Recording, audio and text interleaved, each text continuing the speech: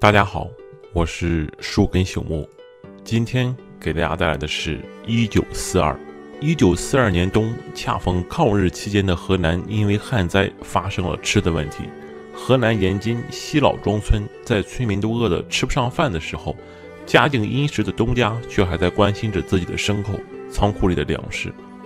堆满粮食的仓库里，少东家却在趁着花枝前来借粮的机会，威逼利诱。试图在自己妻子怀孕期间占他便宜，而就在他即将得逞的时候，一群流寇却带着武器包围了他们家，讨要粮食。面对人多势众的流寇，一边派长工拴住去搬救兵，一边打开家门宴请对方。少东家不想让粮食都被流寇们吃掉，特意趁着宴会将村里人请来，希望能借助他们赶走流寇。就在这时，请兵失败回来的长工却说漏了嘴。流寇头目非常愤怒，将怒气都撒在了东家身上。年轻气盛的少东家开枪打死了流寇头目，并号召村人与他们开战。混乱之中，少东家不幸被打死。村民难民在这月黑风高之夜，将东家一家抢劫一空。第二天，东家住所经过一夜大火，已经变成了一片废墟。虔诚的基督徒小安站在废墟中，宣扬信主的重要性，将东家家的悲剧归结于其不信主，告诫大家只有信主才能得到解救。此时的河南省政府里，脖子粗的伙夫老马正在将一道鲤鱼背面端到桌子上，国民政府官员们正在餐桌上讨论着国家大事，各级地方官员争先恐后表示自己的辖区灾情严重。希望新任的河南主席李培基能够多给自己辖区播放救济粮。镜头一转，来到了花枝家里，丈夫正在给懵懂无知的闺女做了个核桃风车。随后，他带上祖宗牌位、媳妇花枝、老娘和两个孩子，踏上了逃荒之路。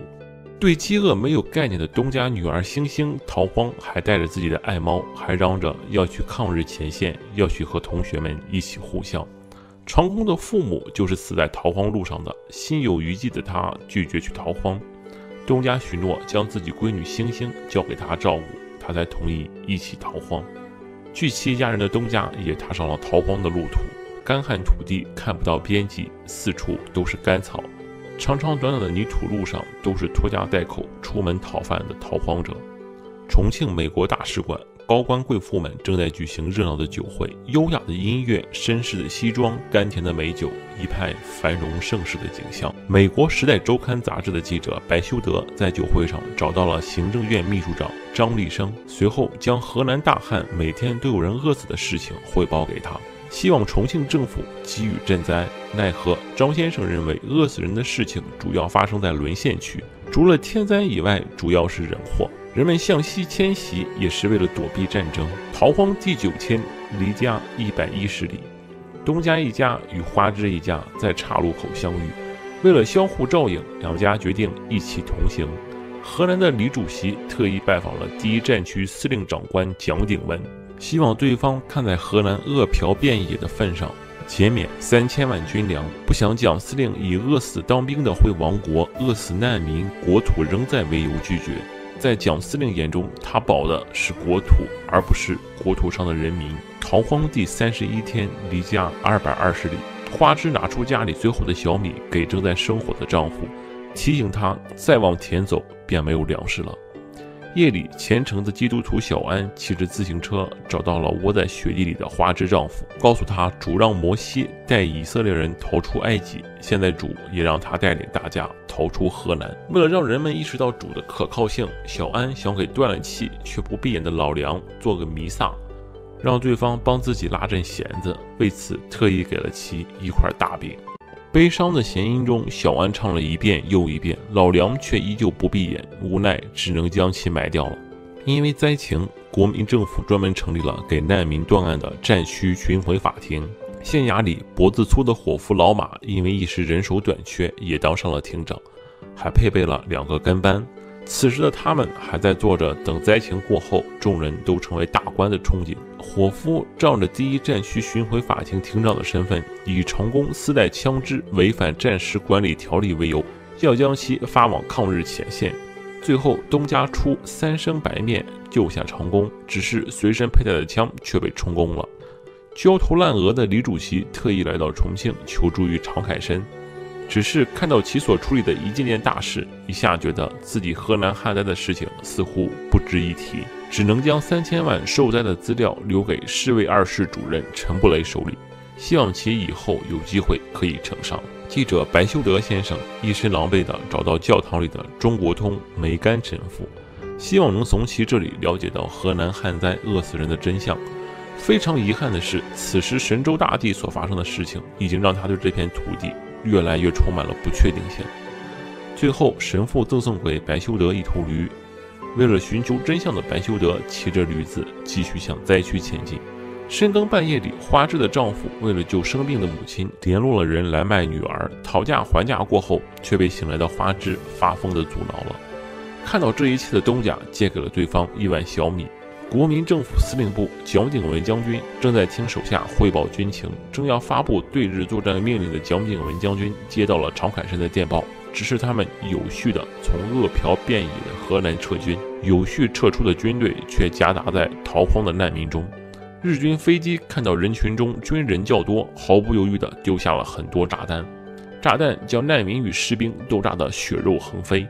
一波轰炸过后，存活下来的士兵对难民一通哄抢，东家家的粮食、细软马车都被士兵抢走。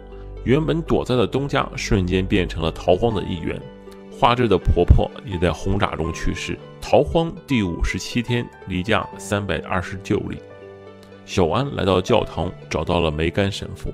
他第一次对信奉主能拯救一切产生了质疑。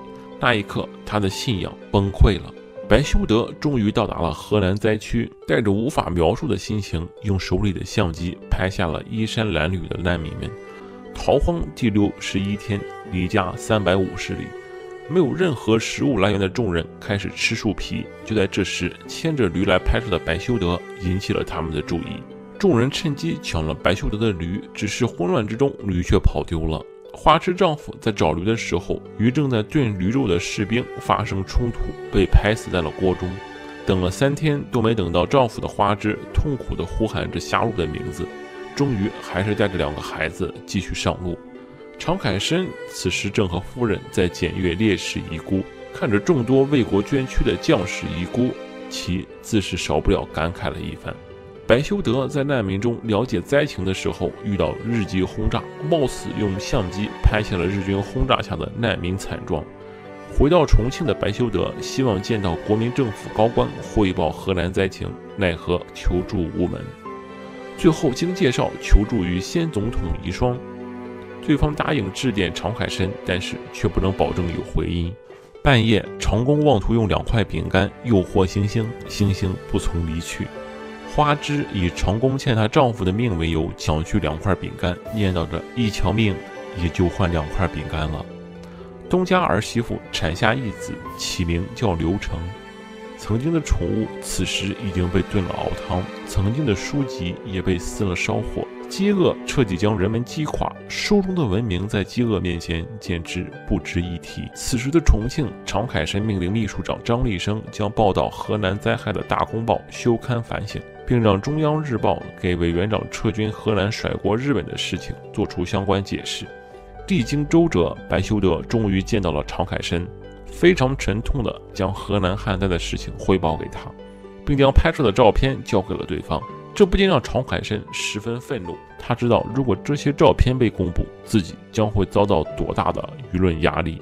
就在这时，日军敌机轰炸了重庆，大片废墟的重庆清理出道路，洒水奏乐，欢送美国使团。汽车里的常凯申下令让山西阎锡山捐出军粮救灾，并让陈布雷组织全国募捐救灾。生孩子失血过多的东家儿媳妇，在母亲没有进食后，终于饿死。河南省政机关正在大会上，主席李培基宣布，他们获得了八千万的救济粮。就在讨论如何更好地利用这批宝贵的粮食时，突然收到几点，说蒋鼎文扣押了粮政厅厅长和财政厅厅长，并要求拿三千万的粮食来换。李培基只能命人将三百万斤粮食换成金条，打算给蒋鼎文送礼，换回扣押的人质。而秘书则偷偷多换了五十万斤粮食，留作将来去重庆要送礼的备用。逃荒到洛阳的两家人听到广播里的政府救灾，顿时以为有了活的希望。谁知政府只将豫北和豫南划为灾区，而此时身在洛阳的他们并不属于难民，更被当地警察以难民影响市容、扰乱治安为由，拒绝他们进入洛阳城内。终于，东家娘亲饿死。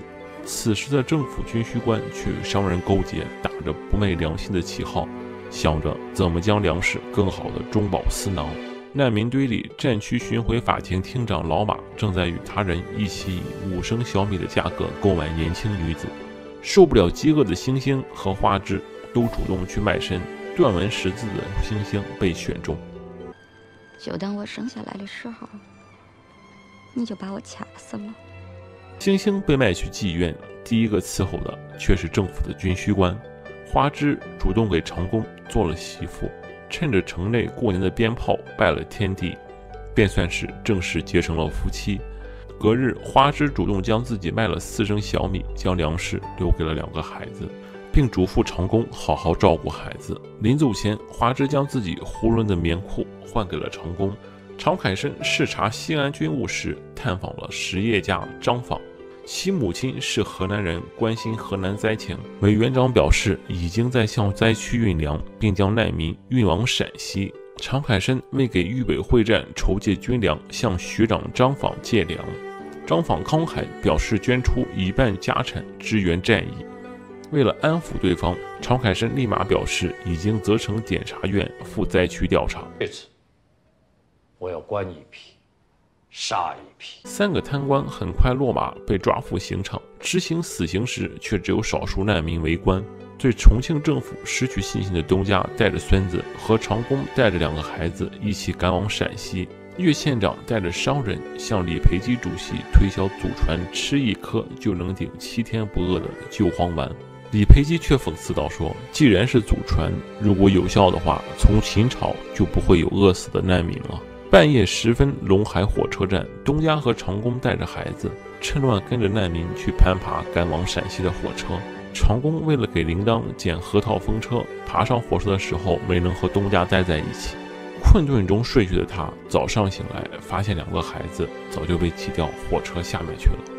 为了寻找两个孩子，他毅然选择跳下火车。跳下去后，才发现用老婆换来的小米落在了火车上。此时逃荒已经过去了一百零五天，离家七百一十里。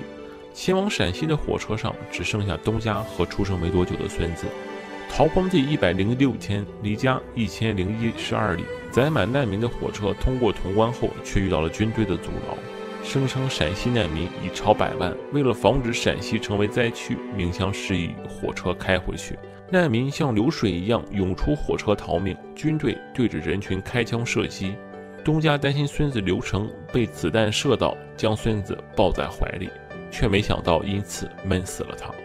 逃荒路上，亲人朋友相继饿死，伤心绝望的东家嚎啕大哭。日本战机上。看到难民惨状的日本军官冈村宁次制定了通过难民进攻河南的策略。